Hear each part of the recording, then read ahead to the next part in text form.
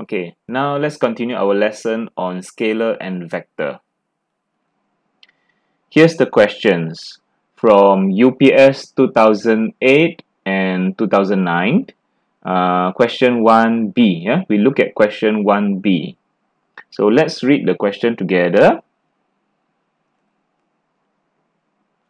So, uh, yeah, question 1b.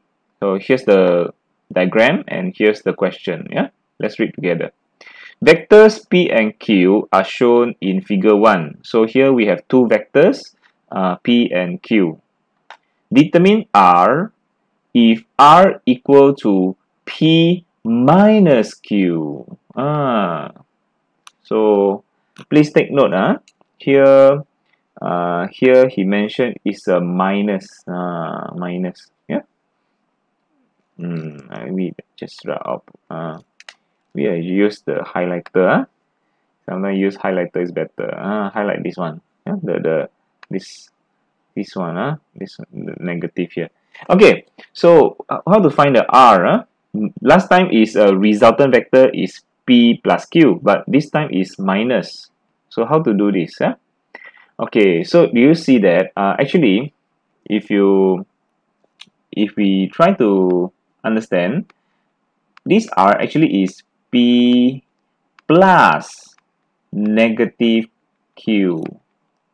Uh, P minus Q actually means P plus negative Q. Okay, same meaning. Uh, so this one, this is a positive Q. So if negative Q, actually it means that is the, the opposite side. Ah, the opposite. Uh, this is the negative Q. Okay? Uh, so positive Q, negative Q. So if um, want to find R, R means the P plus the negative Q. Uh, P plus negative Q. P minus Q means P plus negative Q. That means this P and negative Q resultant together. Uh, P plus negative Q. So uh, that means this one can be ignored. No, no, no, ex not exist anymore. Okay. Uh, uh, but uh, this is the one way of doing. But there's another way which is uh, easier to do. Uh? I teach you the easier method. So maybe we can uh, no need to ignore this one. Okay, uh, we maintain this one. Okay, now uh, the easier way to do this is um, we do we find um, each vector component first. Yeah, resolve them. So we know that um, okay, resolve to x and y component. Uh, so how to do this? So uh, okay, P. So resolve the P and also resolve the Q. Uh, okay, first we resolve the P. So this is the component of P, F, X and Y component. So how to do this? How to do this? So uh, okay, let's find out the P. So right here. So for P, it's actually um, we have uh, the X component should be uh, you know, ah, important thing is you must know uh, the direction going up positive, the right positive, going backward negative, downward also negative. Okay, uh, this is very important. So for P, resolve into components. For X component, we have negative, yeah, because going to the left, negative. Uh, 5.6 uh, cos 30. Okay uh, x component is i and then we have what we have um, uh, the y component going downward so it's negative uh, negative 5.6 sine 30 j. Ah okay. Uh, meter. Right meter. So this is the p. Okay p. So in the end, we get the answer after calculate. I get negative 4.8497 uh, I and then negative 2.8 uh, J. I try to maintain as many decimal place as possible. Uh, the best is four decimal place, yeah, to be more accurate. Uh, that is P. Now I want to resolve the Q. Resolve the Q. Q also has component X and Y. Okay. So how to find the Q? So the Q component we have um, so for the X component we have uh, positive. Uh, going to the right is positive. 4.8 cos 20 I. And then going up going up is positive also. Uh, positive 4.8 sine 20 J. Okay? J. Sine 20 J cos 20 sine 20 okay so this one after calculate we will get uh, 4.51 05i and then plus 1.64 17j okay? That's the calculate calculation. So we got already p and q in unit vector form. Ah we call this these are what we call the u uh, sorry sorry. Uh, these are what we call the unit. Uh, sorry lah. Better not use this colorful I'm so sorry. Okay uh, what we can say is um, uh, these are what we call the unit vector form.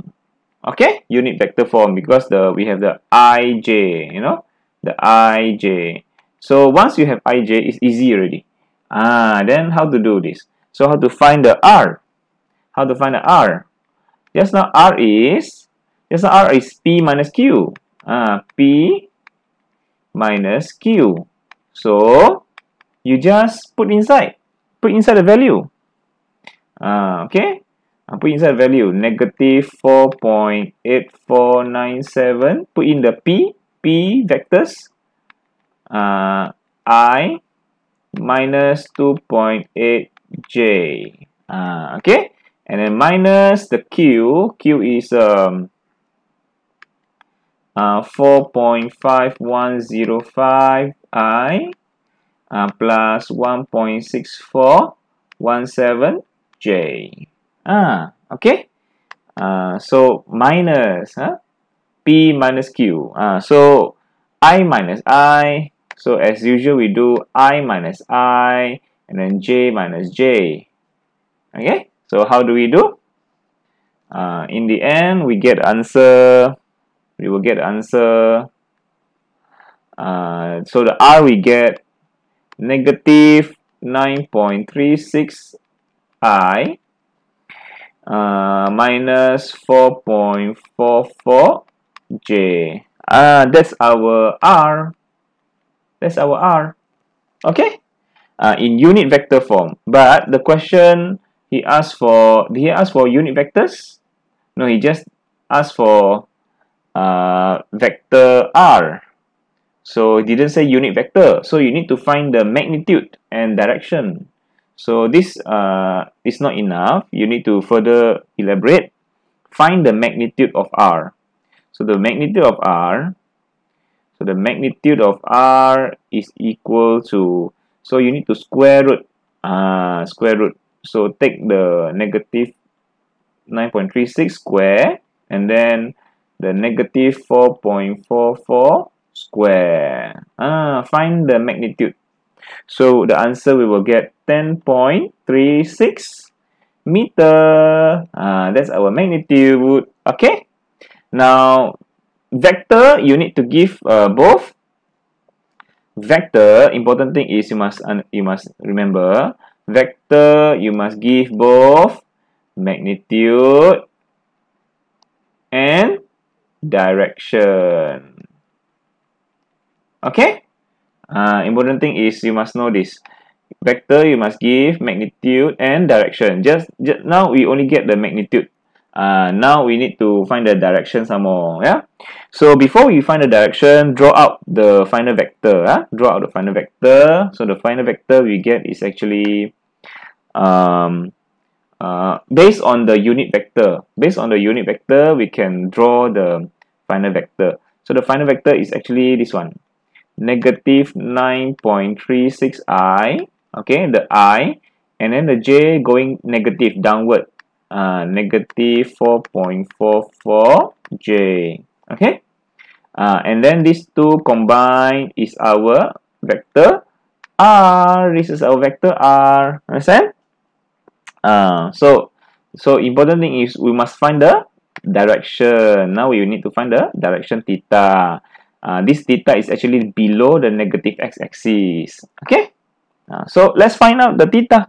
Let's find out theta tangent theta is equal to um, this modulus uh, no y over x y over x negative 4.44 over negative uh, over x negative 9.36 ah we need to modulus remove the negative huh? remove the negative because we only want the uh, small angle huh? we want positive value here so that this one will get small angle so finally, we get theta equal to 25.38 degree uh, below below the negative x axis.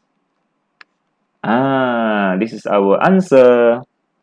So we already have the magnitude and direction. This is our answer. Magnitude and direction. 10.36 meter at direction 25.38 degree below negative x axis.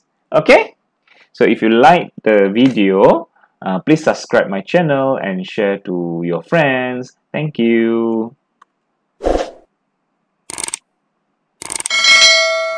Bye